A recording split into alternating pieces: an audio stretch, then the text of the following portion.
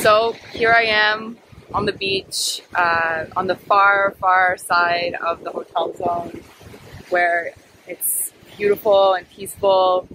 And I really wanted to put together a video, a vlog, talking about my experiences here with peyote. Because some of you may know that um, in being here, I've done two peyote ceremonies, and as much as my mind wants to be like, ah, no one wants to hear about my peyote experience, I'm like, you know what, I should really share what I took away from it and just what the whole experience is like. So for what for people who don't know what peyote is, um, peyote is, to my understanding, a cactus, and it's actually pretty endangered. So it's actually rare and special if you do get the chance to do it. And um, I had heard about peyote about a year ago and kind of put it in the back of my mind. And then on the morning of my 33rd birthday, I messaged one of my friends and was like, hey, I, am thinking of doing a dinner. Like, are you available? And he's like, um, well, I'm either going to go play poker or go to a peyote ceremony. And then I was like, what? I want to go to the peyote ceremony. So um, that night we did the peyote ceremony. And just for people who don't know what the whole scenario is like, so the way it works is that you sit around the fire and the shaman is administering the peyote. It can be, it can come in different forms, but ours came in a powder and you mix it with water. And the idea is that you come to the ceremony with an intention and you have a personal altar and then there's a main altar. And the ceremony, at least the first one I did, is supposed to be very introspective to yourself. You're looking at the fire and you're communing with grandfather fire and you're seeing what messages he has for you and what there is for you to learn. So um, my, my first experience was interesting. I, I, at first when I came to the ceremony, I didn't even know it was overnight. So it's an overnight thing. It started around 10 p.m. and then went all the way till morning. Um, and see, this is what happens when you just discover the morning of your birthday. That's peyote ceremony. So um, there was that. It's overnight, and um, if I could sum up three things that I took away from that ceremony, one of them would be my connection to my ancestors. Um, the second one would be my connection to divine feminine energy and like the really raw, beautiful, strong, soft, powerful form of it. And then the third would be my family. So I'll dive first into connection to ancestors. So at the beginning of my first ceremony, um, at first nothing was like really happening. I actually started feeling really nauseous and I almost threw up, but I didn't. And then I got this download that said, don't eat shrimp anymore because I had had a shrimp salad um, a couple hours before, which now, now that I know more about preparing for peyote, you really shouldn't do. You should actually like really have just a very, very light meal in the morning of fruit and just try to eat fruit throughout the day if you have to. So that was interesting. And then I start I started to feel like I was like really overthinking a lot of things and going like like really deep into one thought. And then at some point I started crying uncontrollably and the tears just came. And I don't know how to explain this other than the fact that I felt like my grandmother's spirits were with me and I had my mom's mom on one shoulder and my dad's mom on the other one.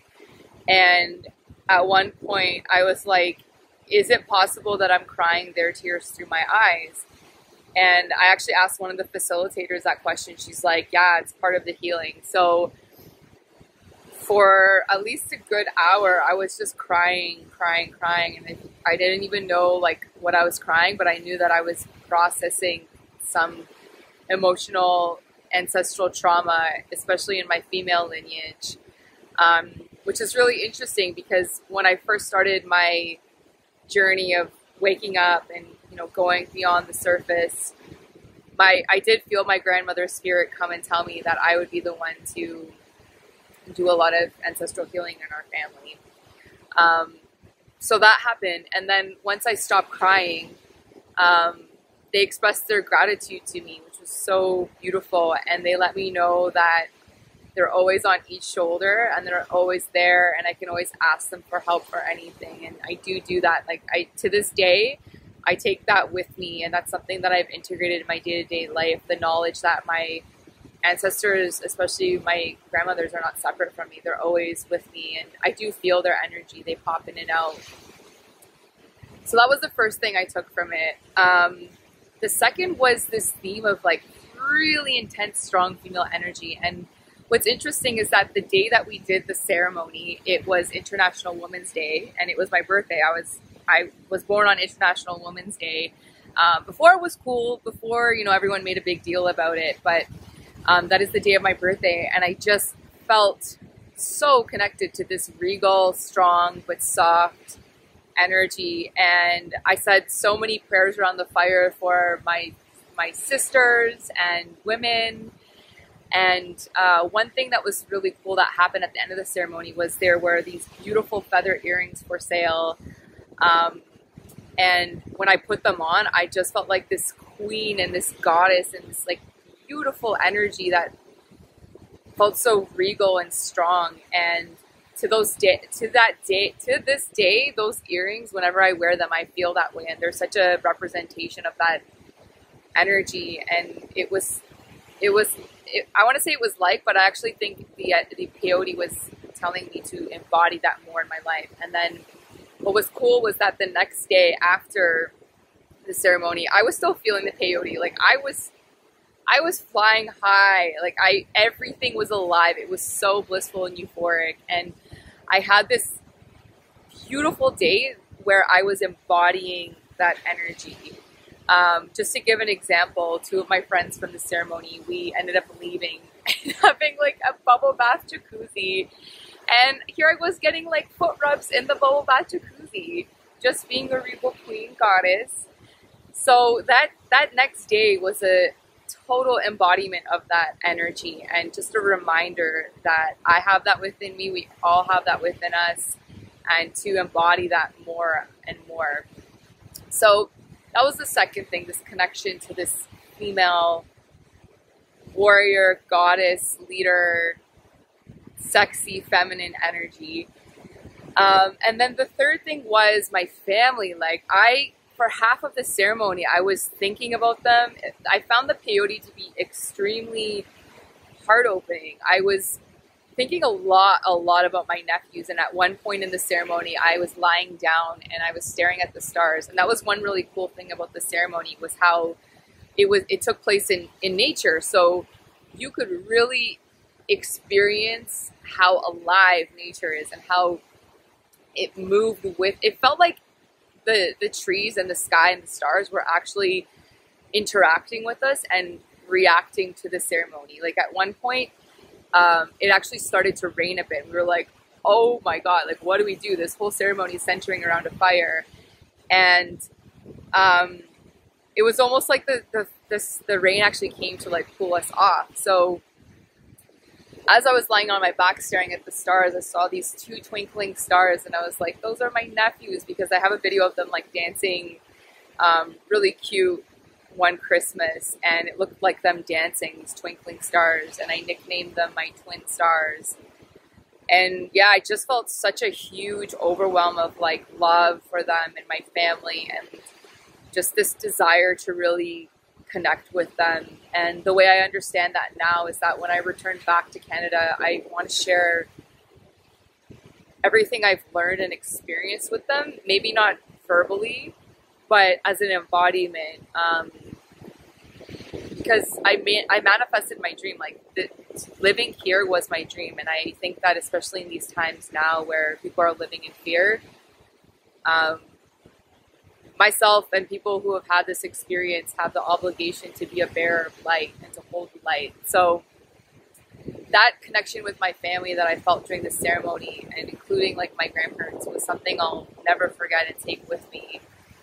So yeah, I did one peyote ceremony and that was beautiful. It was one of the most beautiful spiritual experiences I've had in my life. Um, I literally left that center saying to myself, this is the first day of the rest of my life. And to be fair, I've said that a, a few times in Tulum, but I that was the first time I really said that, and it was in a sense. It really opened my my eyes and my world up. And soon after, I really wanted to do my second ceremony just because of how epic the first one was. But I think it's extremely important, especially when you're working with plant medicines, to be honest with yourself whether or not you actually have the call to do it, or if you're quote unquote chasing the dragon and you just want more of that bliss. You have to be really honest with yourself about your intention for doing it. So, um, although I had the opportunity to do another one the following week, I chose not to because I could tell I was chasing the dragon a little bit and I needed time to integrate what had happened. So, um, about six weeks went by. I actually ended up doing Kambo in that six weeks, and I felt like the peyote sent me to do the Kambo, which I I talk more about this in my vlog on Kambo, uh, which I'll link below. Um, but after the Kambo, I learned of another peyote ceremony, and this was, was with the people that I do my Temescal with. So I have a, a good connection with them. Uh, I trusted them, and it felt right. Like a lot of time had passed since I had done my first one, so I felt I was ready for um, another peyote experience. And this one was same but very different in some ways. So, for starters, um, there's a huge Temescal component. And for those who don't know, Temescal is actually um, a Native American tradition of working with the sweat lodge. And you do ceremony and you work with herbs, and there's several different rounds. So the rounds represent about 15 minutes of sitting with the with the heated rocks. Um, which are called grandmothers, and there's um, a, there's like herbs and stuff sprayed at the same time.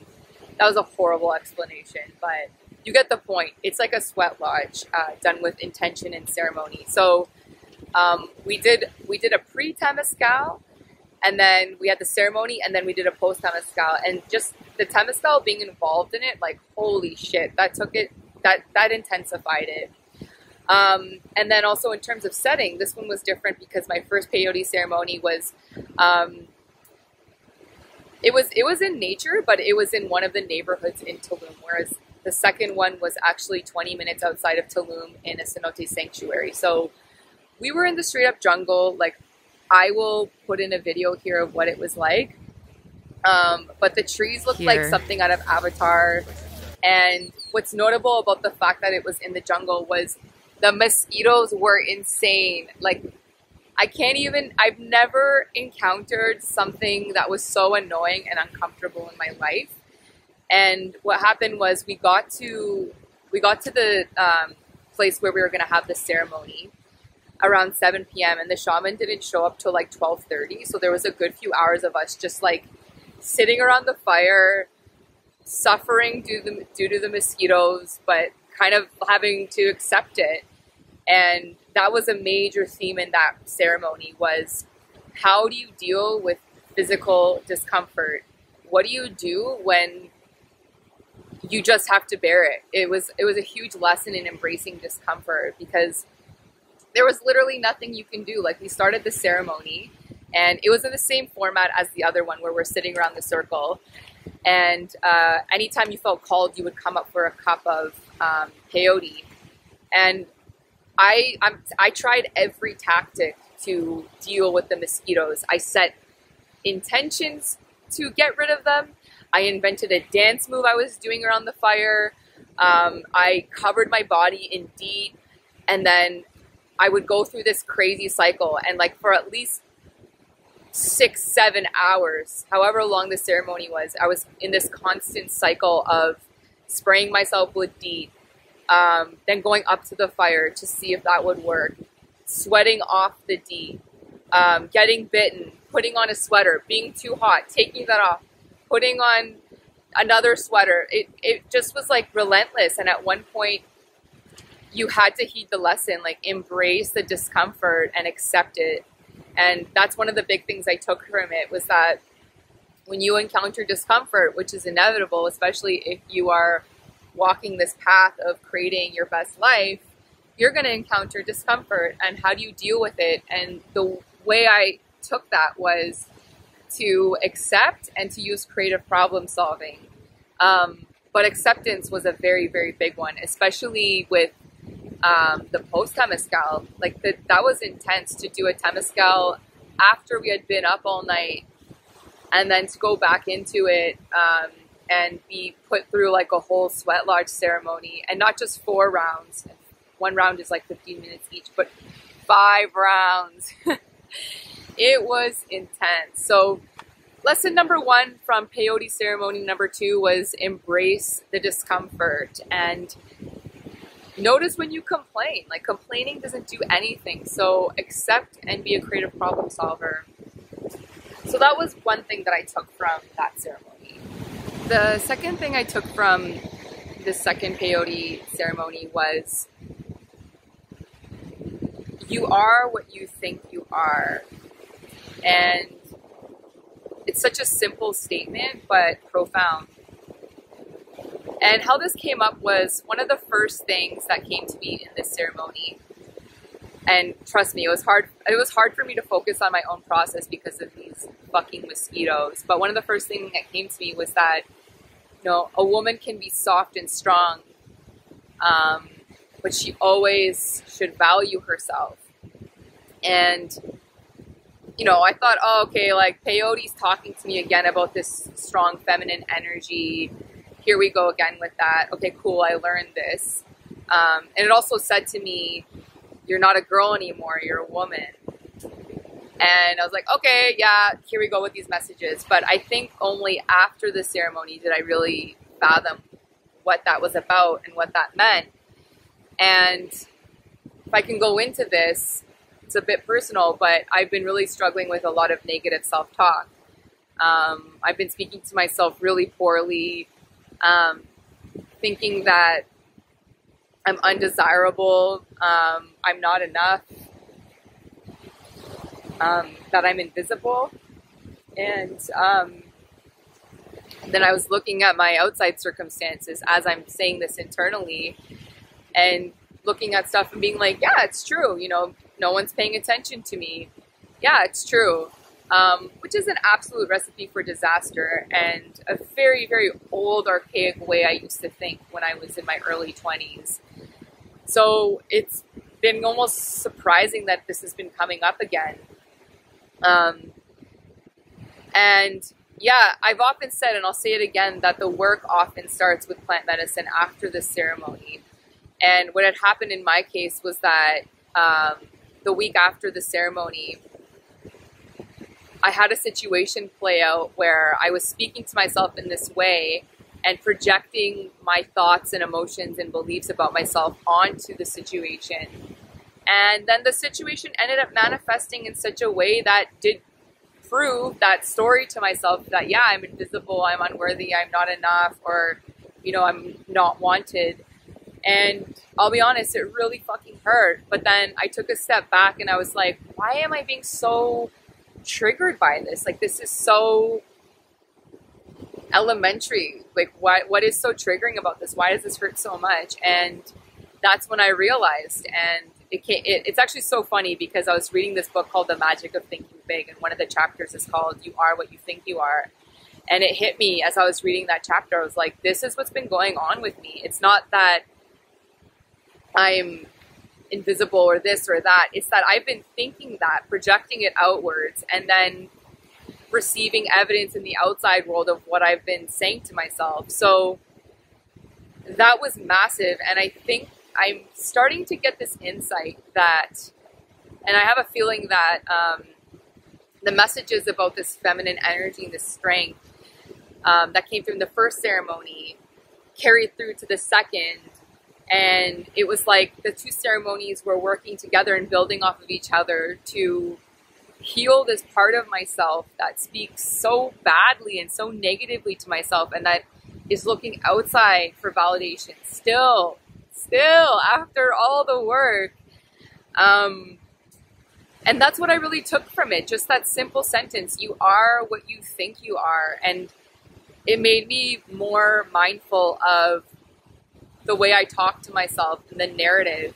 And it's an ongoing work. It will be for the rest of my life how I speak to myself. But this this experience made me really present to that story and to what was going on inside here instead of looking out there and thinking, how can I change out there? How can I seek? How can I change? But really, it all starts in here.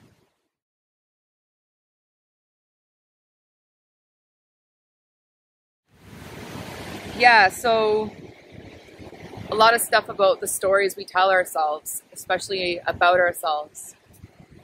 Um, the third thing I got from this second peyote ceremony was to do with my life purpose. So, for this ceremony, I set a very general intention. I talked about, well, my intention was actually to allow any messages to come in or anything that peyote wanted me to know at this time, especially in regards to my life and this new path that I'm carving out for myself of authenticity and really living my purpose, contributing my purpose. And it came right away. It's like, you're a designer. and since you're a designer, what do you want to design? Um, and that, that was just the next question that flowed. And it was beautiful because it was like, bam, here it is. And so it follows like, what do you want to design? What do you want to make?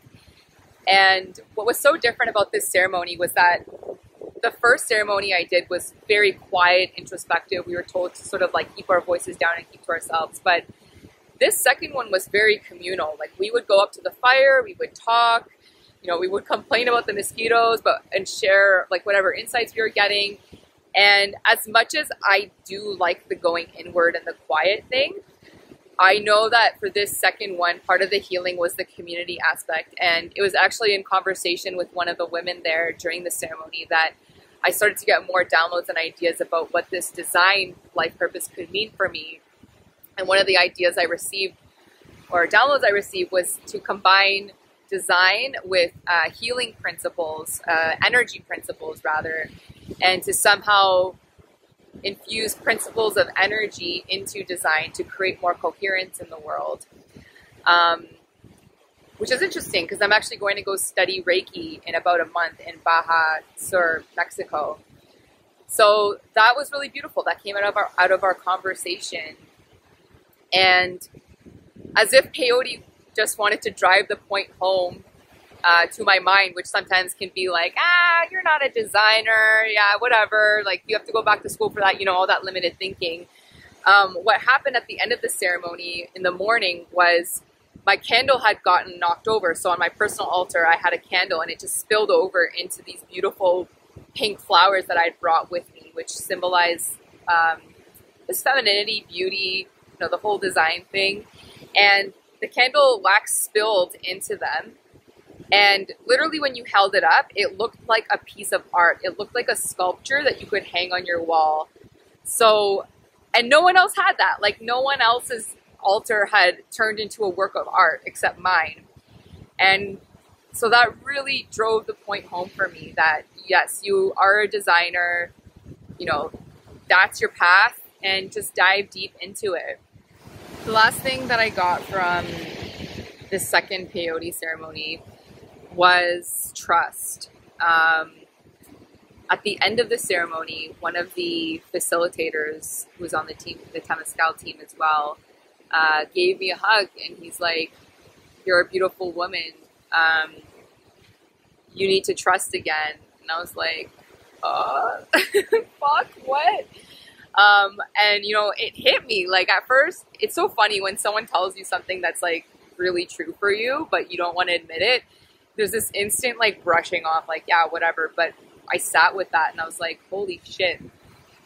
It's true. Like I I think I find it difficult sometimes to really let go and trust, especially with men. Um, I always feel like I have to overcompensate or overdo, and I'm quite independent. Uh, so it's uh, it's something that really hit me like a pile of bricks to trust and to take a seat back and allow myself to receive. And the, it also begs the question, you know, do I trust myself? And I think if you asked me that a couple years ago, I'd say no. But I think one of the beautiful things that I'm realizing is I do trust myself. And part of me quitting my job was stepping into that trust and trusting my intuitive gifts and my instincts to make the right decision for myself. So trust was a big theme that came up, and it's something that I'm consciously working through, and I do set intentions now um, that do involve allowing myself to receive because I do give, give, give, and to be in the ebb, flow, ebb and flow of life, just like these beautiful waves, we have to give and then receive and pull back. So, trust was a beautiful message that emerged from the peyote ceremony as well. If I could also speak to the power of declaration as well, um, the morning after my peyote ceremony, when I reconnected with my roommates and they asked, you know, what happened, I declared, I'm like, I'm a designer. That's the idea I got. Um, or that's the knowing I got. And it, it's so funny because they had gone on their own adventure that weekend. They were supposed to do the ceremony, but then they had an intuitive feeling like, nah, we're going to do something else. And they ended up getting this property to throw an event. And he was like, holy shit, like our, our designer that we used to work with, um, is in Canada. So like you could be the designer for our festival. And then we ended up hosting an event a few days later and I was the one who like designed the poster and yeah, I just like stepped into the designer role just from declaring it. So just saying it out loud, I am da da da da da, lets other people know. It takes it out of here and lets people know like this is what you are. And then it makes you available for the opportunities that are out there for you. Even if you don't feel ready or like you're qualified, just start saying like, you know, I'm I'm a firefighter. Like I'm a mermaid, you know, whatever you want to be. So that's been my experience with peyote. Um, yeah, as with any plant medicine, I would strongly advise you to do a lot of research, especially about who the shaman is, where the medicine's coming from, the set and the setting. And I would also highly, highly encourage you to consider the integration process afterwards because one of the things that had happened the second time around was I had like the most insane week after my second peyote ceremony. Um, my friends and I had put together like a one day event right after the ceremony within one day. Um, I moved, uh, my roommates moved. Um, it was the last week of my job. I had friends out of town visiting, and it's just like so, so much. And if you're anything like me, where you need your quiet time to yourself to digest and process, it can be a lot. So, I would highly recommend that after any ceremony, you have quiet time to yourself to reflect and digest and journal and take everything in that had happened. Um, because as I've said earlier, the work really starts after the ceremony once you receive the insights and downloads. And it's like, what do you do with the insights and downloads? So that's my little advice from these two sessions that I did. Um, I feel like peyote was something that I didn't expect, but I'm very grateful to have happened and come into my life. And I think it's no coincidence that it came into my life the morning of my birthday. Um, it really kicked off my whole plant medicine journey in my life, and it kicked off my plant medicine journey in Tulum. So, yeah, feel really blessed to have done it, and I'm really grateful I can share what I've learned with you. If any of this resonates, uh, feel free to comment below or send me a message. I'd love to hear your thoughts and experiences in relation to peyote.